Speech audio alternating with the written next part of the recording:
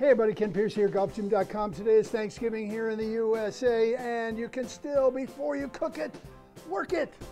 All right, here's a Pallof press. Is a 14 pounder. We're doing some, oh my goodness, wow.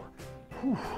Press above the head, above the head, above the head. You gotta get your workout in. You can do some squats, squats. How about this? Get down on your slope and do some push-ups, some press-ups. 14 pounds. Work it, baby, work it. Oh man, I'm generating some heat. I'm gonna cook this thing right here.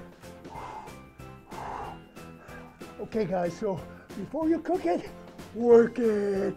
Happy Thanksgiving from Golf Gym. We'll see you on the next video. Yeah!